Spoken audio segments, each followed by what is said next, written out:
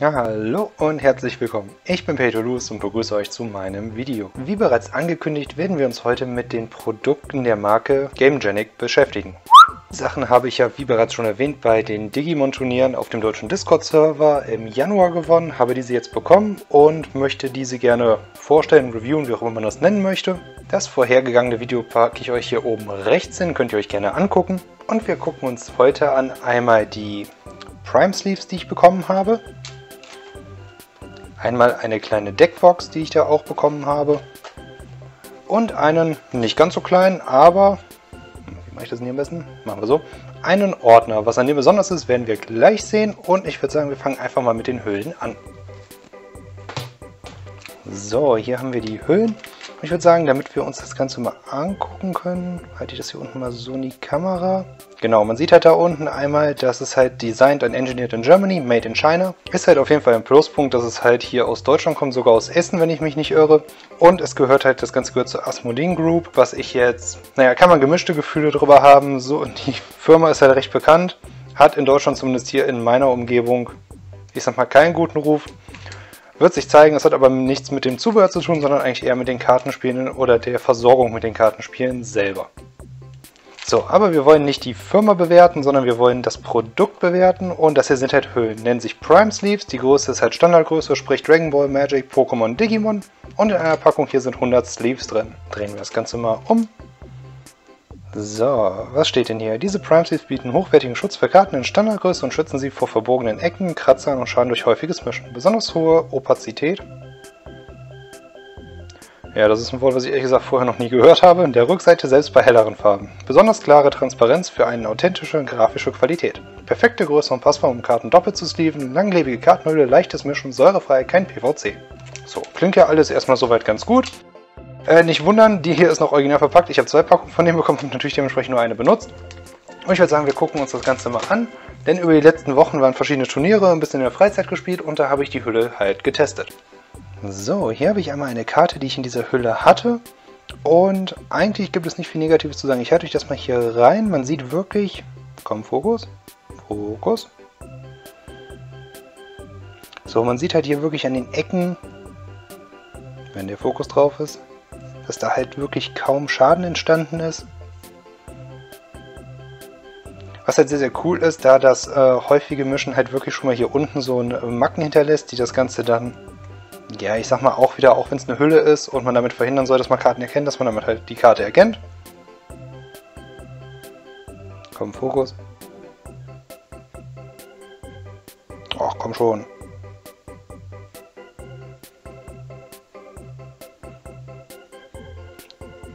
So, ich hoffe, ihr habt es zwischendurch gesehen. Hier unten zeichnet sich halt auch nichts, aber sehr, sehr cool ist. Von hinten sieht man wirklich nicht durch die Hülle durch, weil äh, die Rückseite der Karte sollte halt verhindert werden, ist klar.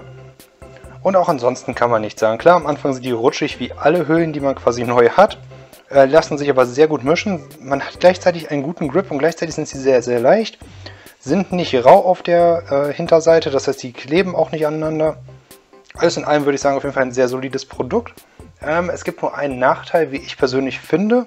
Und zwar, wenn wir uns das Ganze mal angucken, die sind ja extra für Double Sleeving gemacht. Und ich glaube, das wurde hier auch ein bisschen vorausgesetzt, denn man sieht, hier an der Seite haben wir einen gewissen Rand. Hier unten haben wir einen gewissen Rand. Das heißt, hier können wir halt, wie soll man sagen, haben wir einen gewissen Freiraum, der die Karte sozusagen schützt.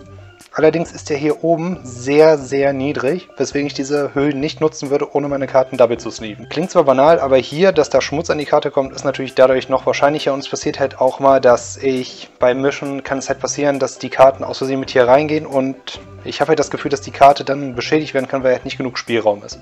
Um das Ganze mal zu vergleichen, habe ich hier noch eine Dragon Shield Hülle daneben und wir sehen halt, an den Seiten und unten ist auch ist ungefähr der gleiche Platz, der die Karte halt schützen soll, aber wir haben hier oben halt deutlich mehr Spielraum, nenne ich es mal.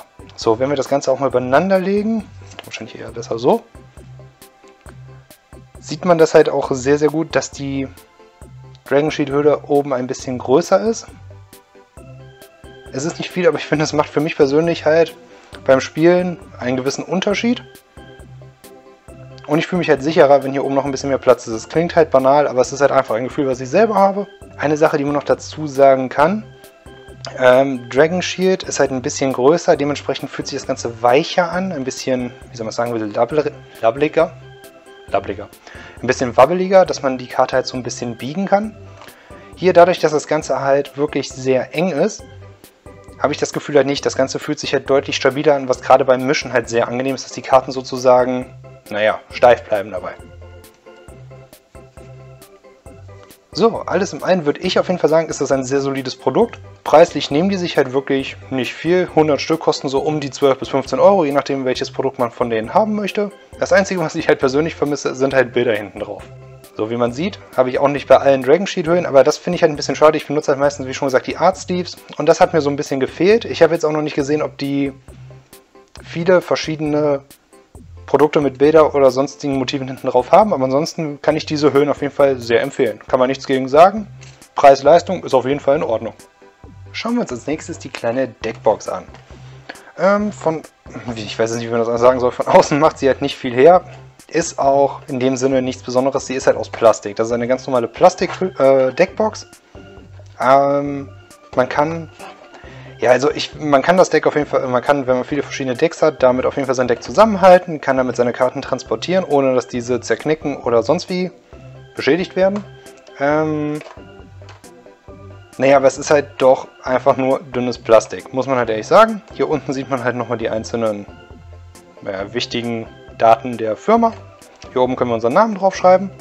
Und wir bekommen dazu halt noch so einen kleinen äh, Trenner mit dazu. Ich würde sagen, wir fangen jetzt erstmal mit dem preislichen Niveau an oder mit dem Preis der Deckbox selber. Ähm, um die 7 bis 8 Euro kostet die ungefähr. Ist also in dem Bereich, wo die halt auch andere, ich sag mal so Plastik-Deckboxen halt haben. So, jetzt ist natürlich die Frage, was macht diese Deckbox denn dann so besonders? Weil wenn die anderen genauso viel kosten, bei den anderen kriege ich meistens noch irgendwelche lustigen Motive mit drauf. Warum sollte ich also die nehmen? Nun, einmal haben wir halt die Größe. Es klingt zwar banal, aber die anderen Hüllen, die es sonst in dieser Größe, diesem Format gibt, sind halt für ganz normale Standard-Decks gebaut. Standardgröße so 60 Karten maximal. So, hier sieht man es auch. 80 plus, das heißt hier passen 80 Karten rein.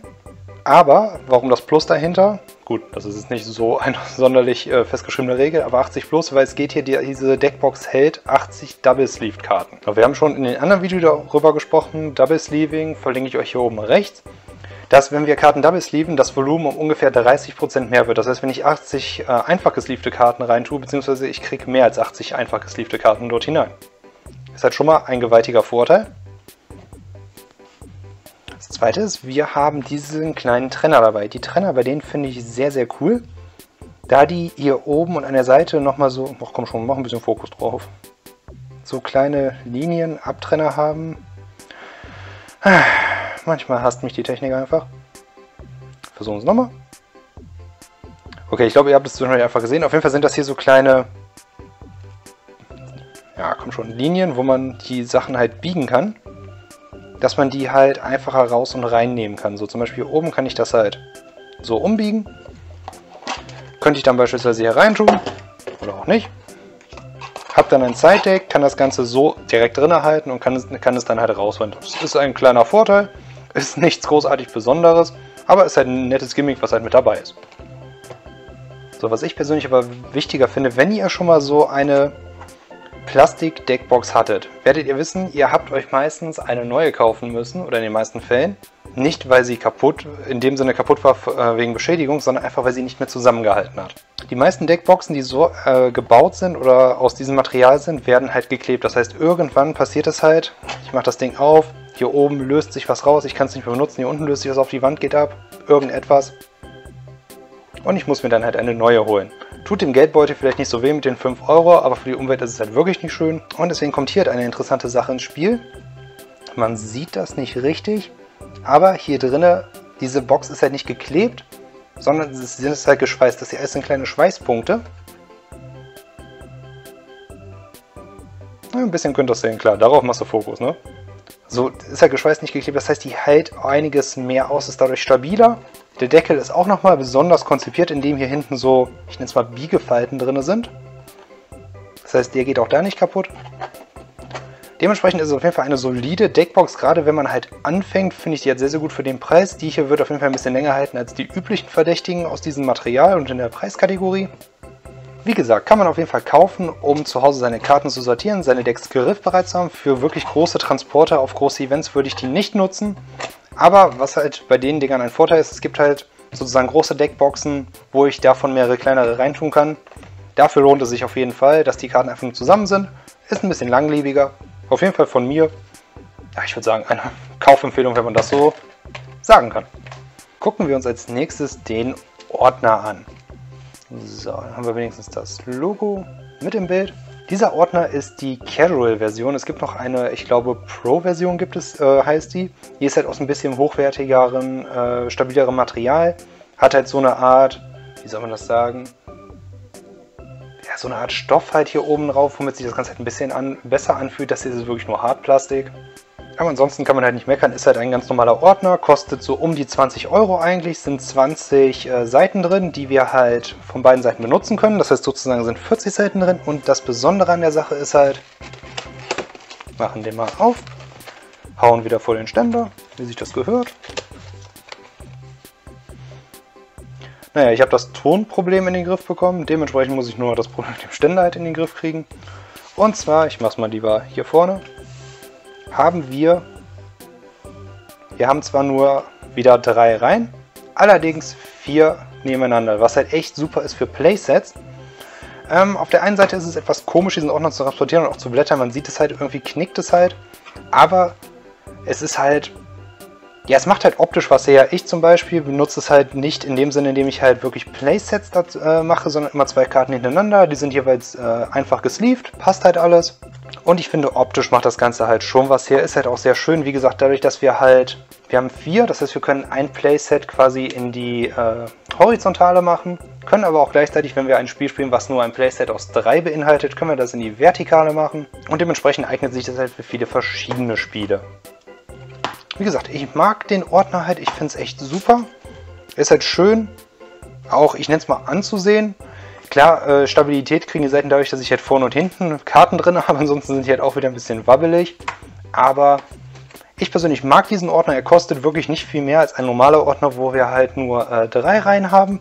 Er ist ein bisschen komisch zu transportieren, sage ich mal. Muss mal gucken, ob die noch mit in den Rucksack hineinpassen, die, äh, diese Ordner. Aber ich würde mir oder werde mir in Zukunft auch wieder solche Ordnungen, wie man sieht. Ich finde, das sieht halt unglaublich schön aus, wenn diese vier Karten einfach nur nebeneinander sind. Klar, mit diesen Zweierkarten geht das auch, aber es ist halt was Besonderes. Ähm, noch eine Sache, die man dazu sagen kann. Äh, es wird ja darauf achtet, dass die Sachen halt aneinander passen. Das heißt, wir haben einmal einen weißen Ordner. Dementsprechend haben wir ein weißes Band und auch weiße Seiten. Ja, ich weiß nicht, der andere Ordner, den ich noch habe, der ist jetzt zum Beispiel außen grün in schwarz. Ich finde, das macht jetzt nicht so den großen Unterschied. Aber ja, ich kann über das Ding auf jeden Fall nichts Negatives sagen. Preisleistung auf jeden Fall gerechtfertigt, werde ich in Zukunft wiederholen. Das Einzige, was mich persönlich ein bisschen stört, es sind halt äh, Sideloader-Taschen. Aber es ist halt immer einmal links, einmal rechts, einmal links, einmal rechts. Ich wäre halt ein Fan davon, wenn die Taschen alle sozusagen auf der rechten Seite sind, da man dann so leichter rein kann oder ran kann. Klar, dass die hier äh, eher nach links geht, ist logisch, damit die Karten nicht an der Seite rausfallen. Aber das ist wieder nur eine persönliche Sache von mir. So, ich würde sagen, wir kommen dann mal zum Fazit des Ganzen. Ähm, tu nochmal alle Produkte so ein bisschen ins Bild. Muss ganz ehrlich sagen, ich bin von dieser Firma positiv überrascht, von dieser Marke.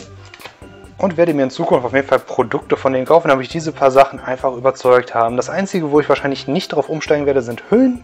Dazu das ist einfach nur eine persönliche Meinung von mir. Aber auch die Fakten sprechen auf jeden Fall für die Höhlen. Sie sind stabil, sie halten einiges aus, bieten Schutz, gehen nicht so leicht kaputt und sind halt preis-leistungsmäßig auch super. Ich werde mal gucken, was ich jetzt nächstes von der Firma ergattern kann. Die haben auf jeden Fall verschiedene lustige Deckboxen auf ihrer Seite, die ich mir angucken werde. Spielmatten, Zubehör zu anderen Spielen, wie zum Beispiel Siedler von Katan oder halt auch Würfeltower und solche Sachen. Also eigentlich für viele verschiedene Sachen. Und ich würde sagen, damit machen wir hier einen Cut und schauen uns das nächste Mal noch andere Produkte an, weitere Produkte, mehr Produkte, wie auch immer. Schreibt mir gerne eure Meinung in die Kommentare, ob ihr Erfahrungen mit den Sachen habt oder was ihr euch als nächstes wünscht. Lasst es mich gerne wissen. Das war's für heute. Ich bedanke mich fürs Zusehen und bis zum nächsten Mal. Ciao, ciao.